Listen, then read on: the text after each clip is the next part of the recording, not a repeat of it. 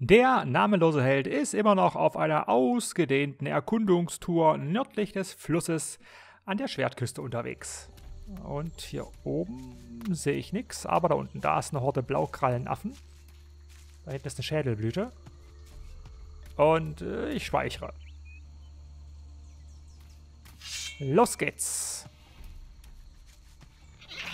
Was war meine Taktik bei Blaukrallenaffen? Kleine, kurze Schläge. Ja, du auch.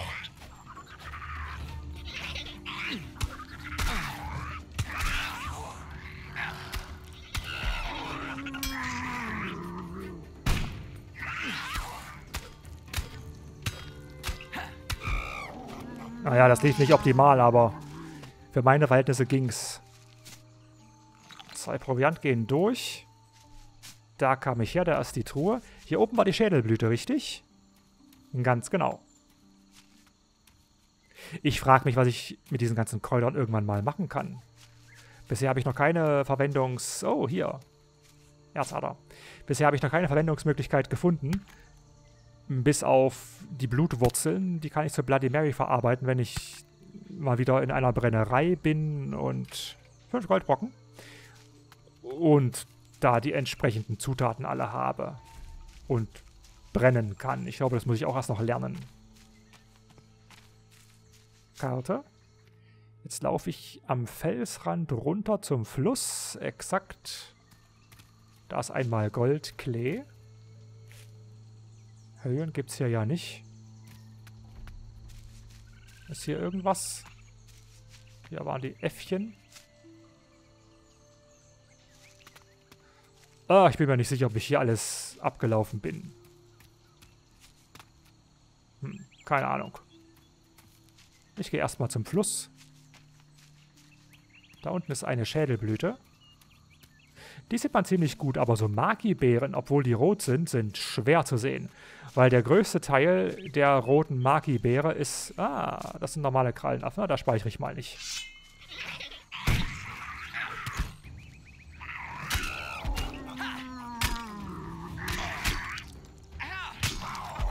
Jawohl, das geht.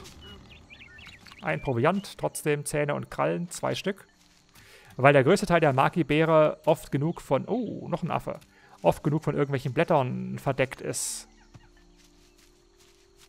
Die müsste eigentlich noch auffälliger sein. Ähm, Held. Danke. Kralle und Zahn. Hier oben war ich doch dann richtig. Ja. Genau. Wieder zurück. Auf den Weg zum Flussufer. Und da könnten Alligatoren sein. Bisher habe ich zwei erlegt, hier an der Schwertküste, aber Trauschau wem. Hm.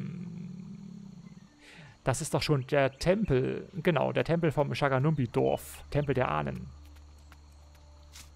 Oh, eine Truhe. Oh, eine 85er. Kann ich nicht knacken. Mist. Die kommt auf die Liste. Gaganus. Ja. Ansonsten sehe ich hier nichts. Ins Wasser gehe ich noch nicht. Ich bleibe erstmal noch an Land. Wer bist denn du? Bist du eine der Sammlerinnen? Eigentlich müsste das eine der Sammlerinnen sein. Natsumi, genau. Okay. Ja, ganz meine Meinung. Aloha, Pirat. so, das hier habe ich schon richtig. Ja, ein guter Gewehr hier einmal links rum und dann müsste ich doch eigentlich, ach, Herr Eva wegen alles haben, wollte ich gerade sagen. Da ist noch ein Affe, hier ist noch eine Geisterlilie. Karte. Ja, ich, ich muss ja noch mal rechts den Weg hoch und dann, dann habe ich hier oben hoffentlich alles. Hey!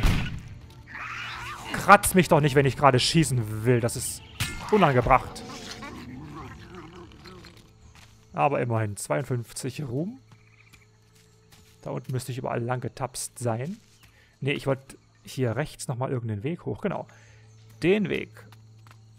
Den hier rechts mal rum und wieder rauf.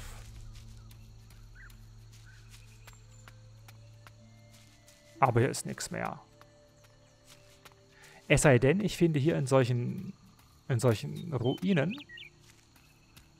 solche Türen. Hat diese Ruine hier eine Tür? Hierum nicht. Oh, Garganos. Hier war ich wohl auch nicht. Hier hat es auch keine Tür. Karte, wo bin ich denn? Doch, hier oben war ich schon, natürlich. Aber ich bin ja mal rechts an der Felswand lang gelaufen. Es kann sein, dass ich hier mir das noch nicht so genau angeschaut habe. Aber hier ist auch nichts. Hier kann man nicht hochklettern.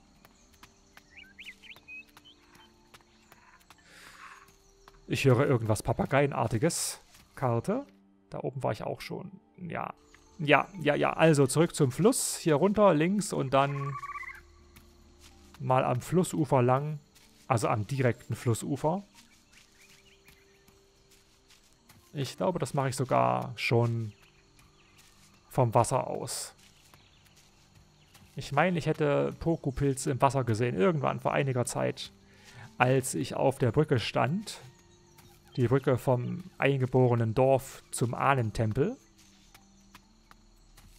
Da habe ich gesehen, dass da im Fluss Pokupilze wachsen. Und ich glaube, hier war das Krokodil. Das Maul aus dem Wasser. Oh, ich laufe mal hier lang. Stromaufwärts. Ah, hier, den Pokupilz hatte ich nämlich gesehen. Zack, weg. Und ich merke mir mal, dass ich bis unter die Brücke dann hier auch im Wasser alles habe. Ist hier hinter dem Brückenpfeiler was? Ja, ein Pokupilz. Und hier ist eine Geisterlilie. Ich habe sie ganz genau gesehen. So, aber hier mache ich jetzt nicht weiter. Es geht jetzt hier im Wasser mit dem Strom zurück bis zum Wasserfall. Und dann schaue ich mal, ob ich vom Wasser aus noch irgendwas sehe. Ja, hier ist zum Beispiel eine Geisterlilie. Und hier sind die Sammlerinnen, also hier dürfte nicht so viel sein im Moment. Nö. Hier vorne auf einem solchen Inselchen war ich ja auch schon. Aber ich schaue nochmal rauf. Nix. Und hier auch nichts, ne. Das andere Ufer, das müsste das südliche Ufer sein, hier rechts. Das lasse ich mal jetzt außer Acht. Einmal hier lang, Karte. Ja, davon ist der große Wasserfall. Da weitet sich der Fluss aus. Da könnte einiges sein. Irgendwelche versteckten Pokupilze im Wasser. Oder auch Inseln im Fluss mit Geisterlilien. Oder Schatztruhen. Hier, sowas. Aber, ne, hier wächst nichts. Nichts, was ich pflücken kann. Hier auch nicht. Und hier vorne, das wäre da auch ein schöner Ort für was Verstecktes. Hm. Ah, ja, ja, ja, ja, aber es sieht schön aus. Man darf nur nicht runtertorkeln. Was ist hier? Diesem Inselchen. Auch nichts. Nicht mal eine Maki-Beere. Ja, hier ist schon das Flussufer, das südliche. Und ich habe den Helden nass gemacht und nichts gefunden. Null Komma nichts. Das ist gemein. Schau mal hier ins Gebüsch. Nee. Ja, dann Karte. Ich würde mal sagen, dass der gesamte Bereich oberhalb des Flusses jetzt abgegrast ist. Und auch die gesamte Küste ist ja abgegrast. Das heißt, ja, mehr als die Hälfte habe ich schon, wenn ich Puerto Isabella und die direkte Umgebung vom eingeborenen Dorf mitnehme. Aber da im Süden, südlich vom Fluss, da ist noch einiges. Äh, deswegen äh, werde ich jetzt hier noch ein bisschen durchs Dickicht tapsen. Und dann mal schauen, ob ich hier irgendwo ein Eckchen finde, um mal zu speichern. Und dann ist zu überlegen, ob ich nicht mit Ranapiri losziehe. Der wollte mir ja erzählen, nein, zeigen, wo er Tahana gesehen hatte zuletzt. Und ich nehme mal an, dass das nach Süden geht, weil Tahana zum Friedhof wollte. Und der Friedhof ist ja in der Nähe von Puerto Isabella.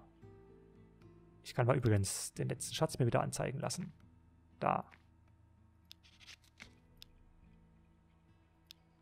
Der Friedhof ist ja da unten, wo dieses Schatzkreuz ist. Dahin war Tahana unterwegs und ist vermutlich der Inquisition in die Fänge geraten. Und ich nehme an, links da, das ist der Erdtempel.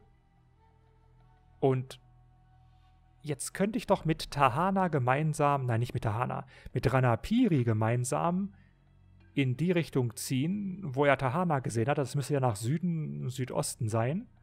Und wenn Ranapiri dann in meiner Gruppe ist, ich hoffe, der ist dann in meiner Gruppe, dann kann ich doch garantiert den Ruhm einheimsen, wenn er gegen Warzenschweine, Gockel und so weiter kämpft. Ja, das klingt nach einem Plan. Und der wird auch gleich verfolgt, aber erstmal wird gespeichert. So, auf geht's. Ich will das letzte Tageslicht noch nutzen. Ich denke mal, es wird eine Weile dauern, bis Ranapiri mir gezeigt hat, wo er Tahana gesehen hat. Und ich hoffe sehr, dass der in meiner Gruppe ist, dass also der Ruhm von seinen ja, Siegen auch auf mich abfärbt. Zeig mir, wo du Tahana gesehen hast. Folge mir, Gucho. Folge Ranapiri in den Dschungel. Ich habe gerade nicht die Nachricht bekommen, dass er in meine Gruppe eingetreten wäre. Das ist schlecht. Ich fürchte, ich bekomme den Ruhm nicht. Ah. Okay, ich muss es mal ausprobieren. Es wird schon irgendein Kampf passieren. Und im Zweifelsfall, wenn ich den Ruhm nicht bekomme, muss ich versuchen, so wenig wie möglich Kämpfe gemeinsam mit ihm hier zu machen.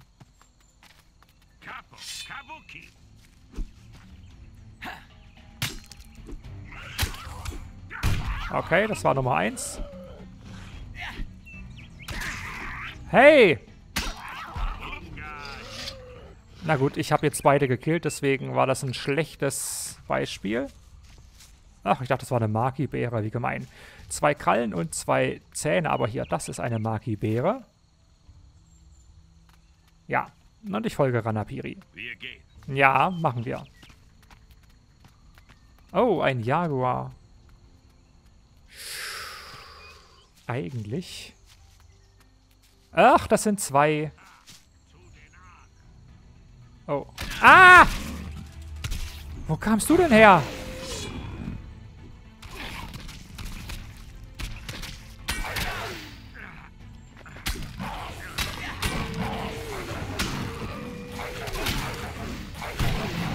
Hey!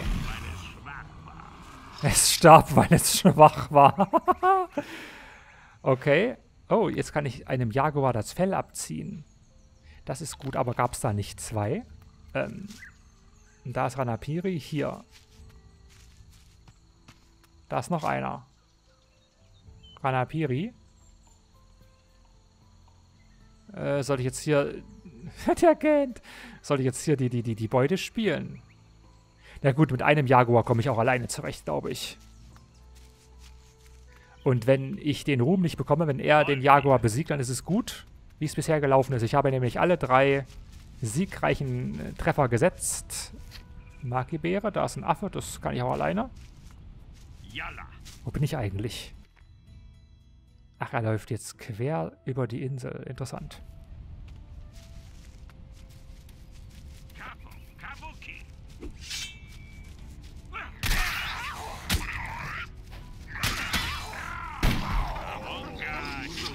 Ja, das war auch ich. Ich muss mir den Schuss jeweils aufheben, Magibeere. Bis... Oh, drei Warzenschweine. Und er will da lang. Ich speichere mal grad. Okay. Wir gehen. Mit Warzenschweinen ist nicht zu spaßen. Ab hier wird es gefährlich. Was ist denn hier? Die Blaurücke kommen nicht in das Dorf der Shaganumbi. Aber sie lauern öfter im Dschungel und greifen uns an, wenn wir wenige sind.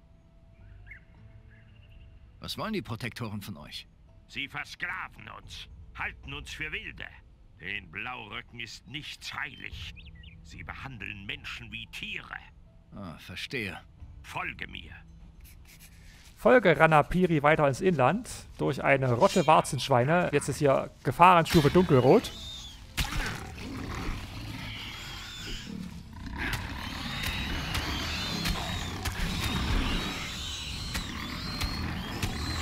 Ey!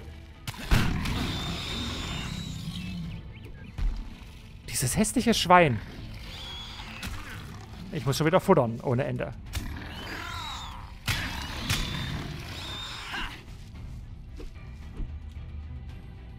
Ranapiri, mach das mal weg.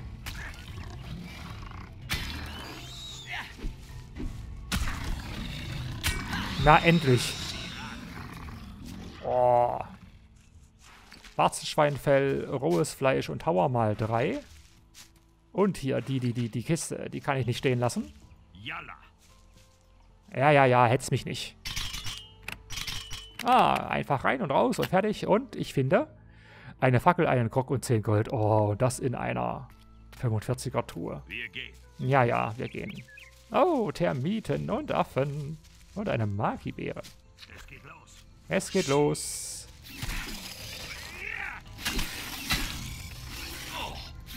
Ey! Garstiges Insekt? So.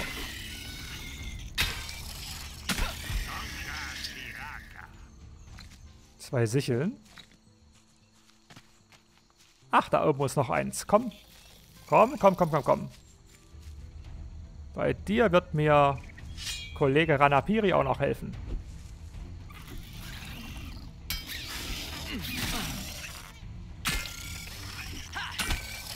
Und ich muss schon wieder futtern.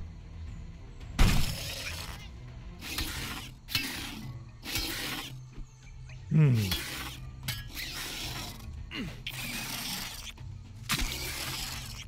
Irgendwie ist er nicht sehr schusssicher, der Gute. Der schießt immer oben drüber.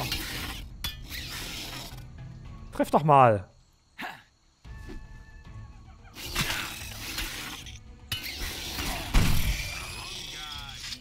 Ja, endlich. Eine Sichel, 105 Ruhm und einmal Proviant. Kann ich noch irgendwas anlocken? Hier irgendwas Böses. Eine Termitenkönigin. Da hinten ist schon Puerto Isabella. Ah, nee. Nix mehr da. Oh, da kann ich noch klettern, Ja. oder? Ja, aber alles später. Erstmal mit ihm hier äh, weiter durch die Gegend stapfen. Ah, die gibt's ja auch noch.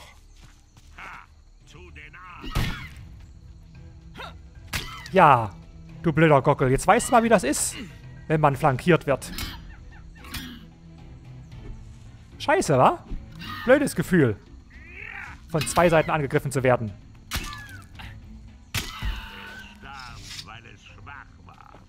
Starb, weil es schwach war. War. Rohes Geflügel. Da sehe ich eine Kiste und sie wird nicht mehr lange gefüllt sein. Ach, noch nicht mal was zum Aufschließen. Dann kann nicht viel drin sein. Ja, Fackel, Krog und drei Gold. Ein Goldklee. Und bevor es weitergeht mit Ranapiri durch die Dschungel der Schwertküste, mache ich hier mal Schluss und weiter geht's dann im nächsten Teil. Bis dahin.